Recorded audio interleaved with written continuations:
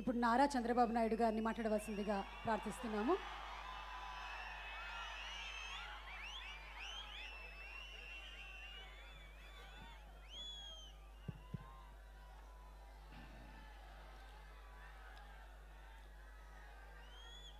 గౌరవనీయులు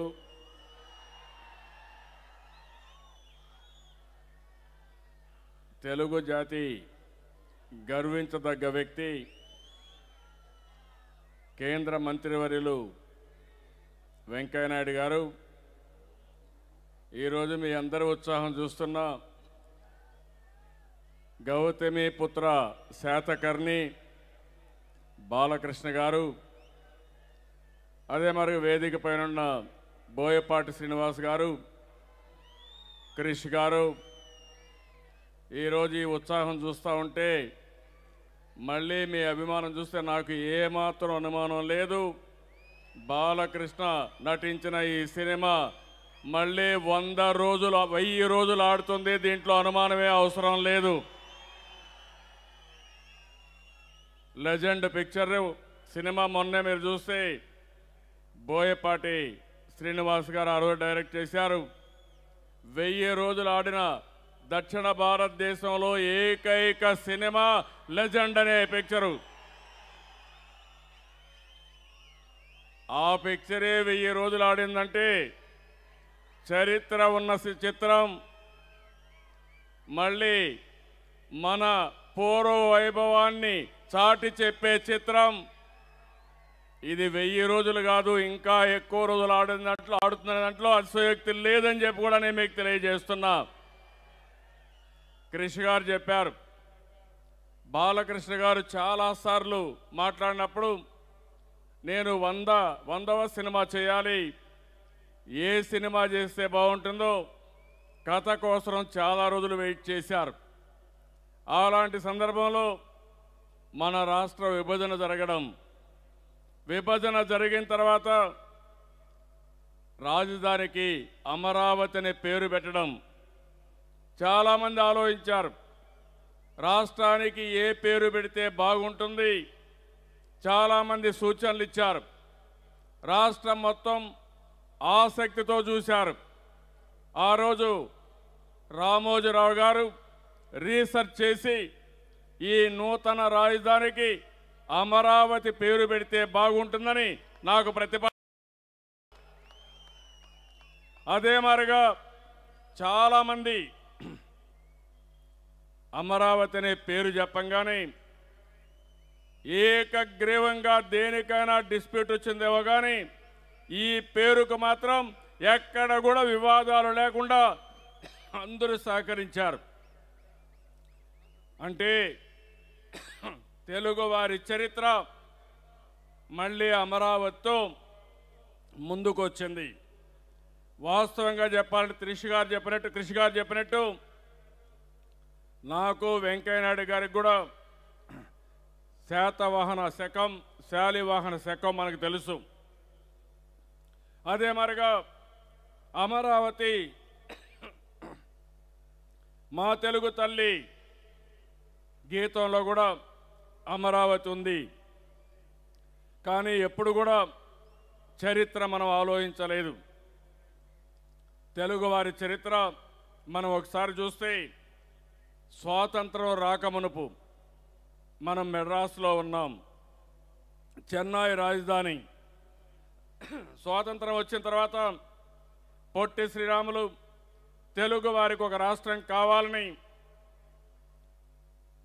ఆయన ప్రాణాలు త్యాగం చేసి ఆంధ్ర రాష్ట్రం ఏర్పడింది. మూడు సంవత్సరాలు కర్నూలులో ఉండి మళ్ళీ తెలుగు వారందరూ కలిసి ఆంధ్ర హైదరాబాద్ రెండూ కలిపి ఉండాలని తెలుగువారి రాష్ట్రం కోసం పోరాడారు. హైదరాబాద్ వెళ్ళాం. అరవై సంవత్సరాలు అందరం కష్టపడ్డాం. మళ్ళీ అమరావతికి వచ్చాం. ఈరోజు వచ్చినప్పుడు మీరు ఒకసారి ఆలోచిస్తే ఇవన్నీ కూడా ఒక్కొక్కసారి అనుకోకుండా జరుగుతూ ఉంటాయి. చరిత్రలో కొన్ని కొన్నిటికి మనం చరిత్రకారులుగా మిగిలిపోయే అవకాశాలు కూడా వస్తూ ఉంటాయి. నేను నేరుగా లండన్ వెళ్ళాను. నాకు కొంతమంది చెప్పారు. మా చీఫ్ సెక్రటరీ కూడా పోయి వచ్చాడు. పోయి వచ్చిన తర్వాత నేను అక్కడ అధికారులు మ్యూజియం ఉంది లండన్లో. అక్కడ రెండే రెండు గ్యాలరీస్ ఉన్నాయి. ఒకటి గ్రీస్ నుంచి ఒక గ్యాలరీ రెండు అమరావతి గ్యాలరీ. నేను అడిగినప్పుడు దీనికి ఒక చరిత్ర ఉంది. ఒకప్పుడు అమరావతి రాజధానిగా విదేశాలకు పెద్ద ఎత్తున భారతదేశం నుంచి ఎగుమతులు చేశారు. లాజిస్టిక్స్ హబ్గా ఉంది. ఇక్కడి నుంచే పరిపాలన జరిగింది. ఇది చరిత్రకు చాలా అవసరం కాబట్టి ఎక్కువ ప్రాధాన్యత ఇచ్చామని చెప్పారు చెప్పడం జరిగింది. నేను అక్కడికి పోయినప్పుడు వాళ్ళు భయపడ్డారు. నేను ముఖ్యమంత్రిగా వెళ్ళి మొత్తం గ్యాలరీ మాకు ఇమ్మంటామని అడగతామని భయపడిన సందర్భం నేను చెప్పాను. ముందు నేను చూడాలి కాబట్టి మీరు అధైర్యపడద్దండి. తర్వాత మాట్లాడదాం కానీ నేను ఇమీడియట్గా డిమాండ్ చేయనని చెప్పిన తర్వాతనే నాకు మొత్తం చూపించే పరిస్థితికి వచ్చి. ఈరోజు కృషి గారు పేపర్లో చూశారు. అంటే చరిత్ర ఏ విధంగా జరుగుతుందని ఒక ఉదాహరణ. కలిసి వచ్చే సమయం వచ్చినప్పుడు ఏ విధంగా ఒక్కొక్క ఇష్యూ వస్తుందనుకుంటే కృషి గారు చూసి అక్కడి నుంచి ఒక ప్రేరణ తీసుకుని అమరావతి పైన రీసెర్చ్ చేసి ఈరోజు గౌతమి పుత్ర శాతకర్ణి పిక్చర్ తీశారంటే తెలుగు వారందరూ కూడా మనస్ఫూర్తిగా ధన్యవాదాలు తెలియజేయాల్సిన అవసరం ఉంది అభినందనలు తెలియజేయాల్సిన అవసరం ఉంది. చాలామంది నాయకులు ఉన్నారు చాలామంది రాజులు వచ్చారు కానీ శాశ్వతంగా గుర్తుపెట్టుకునే రాజు గౌతమి పుత్ర శాతకర్ణి అనే విషయం మనం గుర్తుపెట్టుకోవాల్సిన అవసరం ఉంది రాష్ట్రంలో ఇంకొక మీరు చూస్తే మొట్టమొదటిసారిగా తల్లి పేరు పెట్టుకున్న రాజు శాతకర్ణి. అంత మునుపంతా మగవాళ్ళ పేర్లు పెట్టుకునేవాళ్ళం. ఇంటి పేరు తండ్రి పేరు పెట్టుకునే దగ్గర నుంచి కాదు తల్లికి గౌరవం ఇవ్వాలి మహిళలకు గౌరవం ఇవ్వాలని మొట్టమొదటిసారిగా చరిత్రలో గౌరవం ఇచ్చిన వ్యక్తి శాతకర్ణి అని చెప్పి కూడా నేను మీకు తెలియజేస్తున్నా. ఒక నూతనమైన విప్లవం. అక్కడి నుంచి చూస్తే నాలుగు వందల సంవత్సరాలు పరిపాలించారు శాతవాహనులు. నలభై ఆరు మంది దగ్గర దగ్గర రాజులు పరిపాలించారు. ఇరవై మూడవ రాజు శాతకర్ణి గారు. అక్కడి నుంచి ఇంకొక పక్క చూస్తే ఎంత పవర్ఫుల్గా పరిపాలించారంటే చిన్న చిన్న రాజులన్నీ కూడా ఏకం చేసుకుంటూ వాళ్ళని ఓడిస్తూ భారతదేశం మొత్తం అఖండ భారతదేశాన్ని ఏర్పాటు చేసిన వ్యక్తి అమరావతి నుంచి పరిపాలించిన వ్యక్తి శాతకర్ణి అని చెప్పి కూడా నేను మీకు తెలియజేస్తున్నా. తెలుగు జాతికి గర్వ కారణం. అదే సమయంలో ఇంకొక పక్క ఆలోచిస్తే తెలుగు జాతి ఉన్నంత వరకు తెలుగు వారి గుండెల్లో ఉండే ఏకైక వ్యక్తి నందమూరి తారక రామారావు గారు. సినిమాలోనే కాదు రాజకీయాల్లో కూడా పెను మార్పులు తీసుకొచ్చిన వ్యక్తి. తెలుగు బిడ్డగా పుట్టి రాజకీయాల్లోకి వచ్చి తెలుగుదేశం పార్టీ పెట్టడమే కాకుండా జాతీయ స్థాయిలో నిరంతరం పోరాడారు. కాంగ్రెస్ ఇతర పక్షాలను గెలిపారు. అక్కడి నుంచి నాన్ కాంగ్రెస్ గవర్నమెంట్లు వచ్చాయి. నేషనల్ ఫ్రంట్ గవర్నమెంట్ పార్టీ పెట్టి ఆ రోజు విపి సింగ్ను ప్రధానమంత్రిని చేసిన తర్వాత చాలామంది వచ్చిన అది ఎన్టీ రామారావు గారి ఘనత తప్ప ఇంకోటి కాదని చెప్పి కూడా నేను మీకు తెలియజేస్తున్నా. అందుకని ఆ రోజు చరిత్రలో శాతకర్ణి గారు. ఇంకొక విషయం కూడా మీరు చూస్తే యేసు ప్రభు పుట్టిన తర్వాత కీర్తి శకం ప్రారంభమైంది ప్రపంచం మొత్తం. క్రీస్తు పూర్వం క్రీస్తు శకం. అదే మరిగా మనకు క్రీస్తు శకం వచ్చిన డెబ్బై సంవత్సరాల్లో శాలివాహన శకం ప్రారంభమైంది. మన రాష్ట్రంలో తెలుగు రాష్ట్రాలు రెండు రాష్ట్రాల్లో పక్క నుండి కర్ణాటక అదే మరి మహారాష్ట్ర మారిషియస్ కానీ బాలి కానీ ఇలాంటి ప్రదేశాల్లో ఉగాది జరుపుకుంటున్నాం.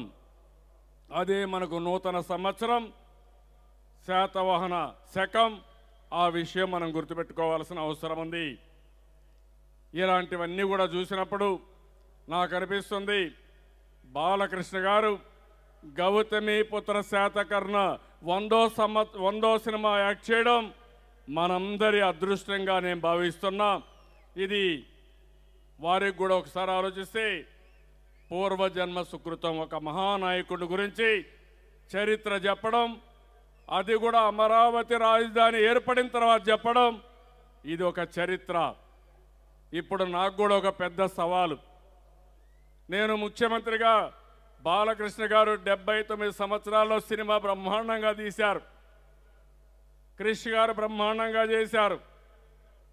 ఈ సినిమా కంటే మించిన రాజధాని కట్టవలసిన బాధ్యత నా పైన ఉంది. నేను అందుకే చెప్పాను. ఏదో రాజధాని అంటే ఒక అడ్మినిస్ట్రేటివ్ బిల్డింగ్స్ కాదు. ఈ రాజధాని భారతదేశంలో అమరావతి నెంబర్ వన్గా ఉండాలి. ప్రపంచ దేశాల్లో ఐదారు రాజధానిలో అమరావతి ఒకటిగా ఉండాలి. అది తప్పకుండా ఉంటుంది. అది చేసి తీరుతాం. ఆ సందర్భంలో బాలకృష్ణ గారు ఈ పిక్చర్ని తీసుకురావడం బ్రహ్మాండమైన అవకాశంగా నేను భావిస్తున్నాం. అందరం కూడా మనస్ఫూర్తిగా తెలుగు జాతి మొత్తం అభినందించాలి. ఎప్పుడు వెంకయ్యనాయుడు గారు సినిమా ఫంక్షన్ రారు. నేనన్నా వెళ్ళాను కానీ వెంకయ్యనాయుడు గారిని ఫస్ట్ టైం ఈ సినిమా ఆడియో రిలీజ్కి వచ్చారు. ఇంతవరకు ఎప్పుడూ రాలేదు. అదే అన్నాను ఇప్పుడు. మీరు ఫిల్మ్ ఇండస్ట్రీ మినిస్టర్ అయ్యారు. కాబట్టి రెండోది తెలుగువారంటే ఆంధ్రప్రదేశ్ అంటే ఎనలేని అభిమానం ఉండే వ్యక్తి వెంకయ్యనాయుడు గారు. దానిని నేను మనస్ఫూర్తిగా ఆయన్ని అభినందిస్తున్నాను. ఈరోజు ఒక పక్కన గౌతమి పుత్ర శాతకర్ణి ఆడియో రిలీజ్. ఈరోజు నేను వెంకయ్యనాయుడు గారు ఢిల్లీ నుంచి వచ్చాం. పోలవరం ప్రాజెక్టు. ఆంధ్రప్రదేశ్ రాష్ట్రానికి లైఫ్ లైన్ జీవనాడి. అలాంటి జీవనాడికి నబార్డు ఫండ్ శాంక్షన్ చేసిన రోజు నాకు చేత నాకు కేంద్రం నుంచి పంతొమ్మిది వందల ఎనభై కోట్ల రూపాయలు మొదటి విడత చెక్ ఇచ్చారు. అది కూడా ఈరోజు జరిగింది. అమరావతికి పోయినప్పటి నుంచి నేను చూస్తున్నాను. వాస్తు బలం బ్రహ్మాండంగా ఉంది. అనుమానం లేదు. ఆ పేరు పెట్టుకున్న గౌతమి శాతకర్ణి కూడా గౌతమి పుత్ర శాతకర్ణి కూడా బ్రహ్మాండంగా ఆడుతుంది. వెయ్యి రోజులు కాదు ఇంకా ఎక్కువ రోజులు ఆడాలి ఆడుతుందని చెప్పి కూడా నేను మీకు తెలియజేస్తున్నా. ఈ సినిమాలో హైలైట్ చూస్తే హేమమాలిని గౌతమి. గౌతమి బాల కింద ఆవిడ యాక్ట్ చేయడం బాలకృష్ణ గారి తల్లిగా యాక్ట్ చేయడం ఇది ఒక అరుదైన అవకాశం. ఆవిడకి కూడా ఇది ఒక అరుదైన అవకాశం ఒక అరుదైన గౌరవం అని చెప్పి కూడా నేను మీకు తెలియజేస్తున్నా. క్రిష్ గారు మాట్లాడారు. చాలా ఎమోషనల్గా మాట్లాడారు. పూర్తిగా ఇన్వాల్వ్ అయిపోయాడు.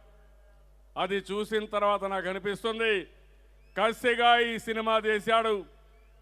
అందుకనే ఒక పట్టుదలతో తీశాడు కాబట్టి ఒక ఆత్మవిశ్వాసం ఉంది నమ్మకం ఉంది. ఆయన చేసింది ఒక పవిత్రమైన కార్యక్రమం. అలాంటి కార్యక్రమం బ్రహ్మాండంగా జయప్రదం అవుతుంది. నిర్మాతలు అన్నారు మాకు డబ్బులు బాగానే వస్తాయని. మీరు అధైర్యపడవలసిన అవసరం లేదు. సాయిబాబు కానీ రాజీవ్ రెడ్డి కానీ శ్రీనివాస్ గారి ఈ పిక్చర్ పేరుతో అమరావతి పేరుతో మీకు డబ్బుల సమస్య ఉండదు. ఇంకా ఒక రెండు మూడు సినిమాలకు కూడా మీరు రెడీ అయ్యే అవకాశం వస్తుంది.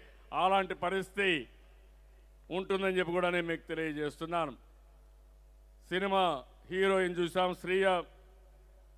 ఆవిడ కూడా చాలా ఉత్సాహంగా ఒక ఆత్మవిశ్వాసంతో ఉంది. ఇంకో పక్క సిరివెన్నెల సీతారామ శాస్త్రి. ఎప్పుడన్నా పాటలు రాస్తే బ్రహ్మాండంగా హిట్ సాంగ్స్ అనేవి వస్తాయి. అలాంటి వారు చేయడం డైలాగ్స్ అన్నీ బుర్రా సాయి మాధవ్ చేయడం మ్యూజిక్ డైరెక్ట్గా చిరతన్ భట్ గారు చే- ఒక మంచి టీము. కంటే ముందుగా మీ ఉత్సాహం చూస్తున్నా. మామూలుగా సినిమా ఫంక్షన్కి వస్తే కాసేపు ఉండి వెళ్ళిపోతారు కానీ మాత్రం ఈ సినిమా ఎన్నిసార్లు చూస్తారో నాకైతే అర్థం కావడం లేదు. ఈ ఉత్సాహం చూస్తూ ఉంటే ఒక్కొక్కరు ఎన్నిసార్లు చూసినా ఆశ్చర్యం లేదు. అలాంటి బ్రహ్మాండమైన సినిమా ఇది రాష్ట్రం మొత్తం ఆదరించాలి. చరిత్ర తెలుసుకోవాలి. తెలుగు జాతి చరిత్ర తెలుసుకొని భవిష్యత్తుకు శ్రీకారం చుట్టాలి. భారతదేశంలో నెంబర్ వన్ రాష్ట్రం ఏదంటే దానికి కేర్ ఆఫ్గా ఆంధ్రప్రదేశ్ ఉండాలి తెలుగు జాతి ఉండాలి. దానికి ప్రతి ఒక్కరూ సహకరించవలసిందిగా మరొక్కసారి కోరుకుంటూ ఈరోజు మీరు చూస్తే సినిమాలు కూడా చాలా అవసరం. కానీ వచ్చే సినిమాలు మంచి సినిమాలు ఉంటే మంచి మెసేజెస్ వెళ్తాయి. సినిమా వల్ల ప్రజల్లో ఒక చైతన్యం కానీ ఇంకొక పక్క ఒక వినోదంగానే ఉంటుంది. కొన్ని కొన్ని సినిమాలు చూస్తే నిద్ర రాని పరిస్థితి భయపడే పరిస్థితి ఉంటుంది. కొన్ని సినిమాలు చూస్తే ఒక మానసిక వికాసం ఆనందం వినోదం అన్నీ కలిసి వచ్చే పరిస్థితి వస్తుంది. అలాంటి సినిమా ఈ యొక్క గౌతమి పుత్ర శాతకర్ణిగా ఉండాలని ఈ పిక్చర్ను చూసి మీరందరూ ఆనందించి తెలుగు జాతి చరిత్ర ఒక్కసారి గుర్తుపెట్టుకునే విధంగా ఉండాలని మనస్ఫూర్తిగా కోరుకుంటూ ఈ ఫంక్షన్ రావడం ఈరోజు కూడా మీరు చూస్తే నేను రెండు చాలా ఆనందంగా ఉన్నాను. ఒకటి పోలవరం ప్రాజెక్టు. ప్రధానమంత్రి నరేంద్ర మోడీ గారి యొక్క సహకారంతో ఇది సాకారమైంది. అరుణ్ జైట్లీ గారు పూర్తిగా సహకరించారు. ఉమా భారతి గారు సహకరించారు. మన తెలుగువాడైనటువంటి వెంకయ్య నాయుడు గారు అన్ని విధాల ప్రయత్నం చేశారు. ఈ పోలవరం ప్రాజెక్టు పూర్తి చేసుకుని నదుల అనుసంధానం చేయగలిగి మొత్తం ఎన్టీ రామారావు గారు ప్రారంభించిన ప్రాజెక్టులన్నీ పూర్తి చేసుకుంటే ఆంధ్రప్రదేశ్ రాష్ట్రంలో ప్రత్యేకంగా రాయలసీమలో కరువు అనే మాట ఉండదు. అది సాధించి తీరుతామని చెప్పి నేను మీకు తెలియజేస్తున్నా. అలాంటి సుదినం తరతరాలుగా డికేడ్స్లో ఎన్నో సంవత్సరాలుగా కరువుతో బాధపడుతున్న రాయలసీమ.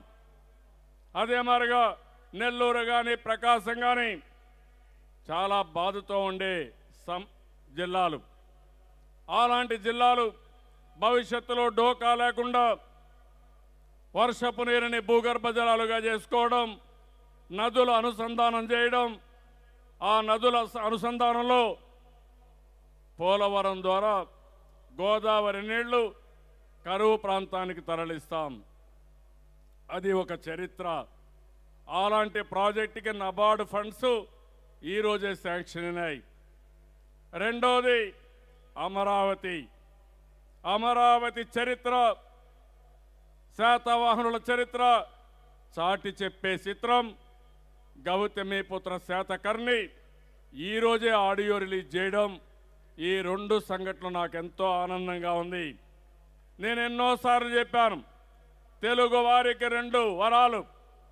ఒకటి పోలవరం రెండోది అమరావతి. ఈ రెండు కూడా సాధించుకోగలిగితే తెలుగువారి శక్తి ప్రపంచానికి మొత్తం చాటి చెప్పే అవకాశం వస్తుంది. ఇంకో పక్క ఈ రెండు ప్రాజెక్టులు మనం చేసుకోగలిగితే తెలుగు వారికి తిరుగు ఉండదని చెప్పి కూడా నేను మీకు తెలియజేస్తూ మరొక్కసారి వెంకయ్య నాయుడు గారిని అభినందిస్తున్నాం. వారు చేసిన కృషికి అదే మరిగా బాలకృష్ణ గారికి మనస్ఫూర్తిగా అభినందనలు. ఈ యొక్క యూనిట్ అందరికి కూడా రాష్ట్ర ప్రభుత్వం తరపున మనస్ఫూర్తిగా కృతజ్ఞతలు కూడా తెలియజేస్తున్నా. నేను ఊరూరికి పోయి చెప్పాల్సిన చరిత్ర మీరు ఒక సినిమా ద్వారా ప్రతి ఒక్కరి గుండెల్లో నిలిచే విధంగా చూపించబోతున్నారు. దీనికి పేరు పేరున అభినందిస్తూ మీరందరూ కూడా గట్టిగా చప్పట్లు కొట్టి రాష్ట్ర ప్రజానీకం తరపున హర్షాన్ని ఆమోదాన్ని తెలియజేయాల్సిందిగా మరొక్కసారి కోరుకుంటూ చేస్తారని చెప్పి ఆశిస్తూ అందరికీ నమస్కారాలు. జై హింద్. జై జన్మభూమి. జై గౌతమి పుత్ర శాతకర్ణి. జై గౌతమి పుత్ర శాతకర్ణి. జై గౌతమి పుత్ర శాతకర్ణి. Thank you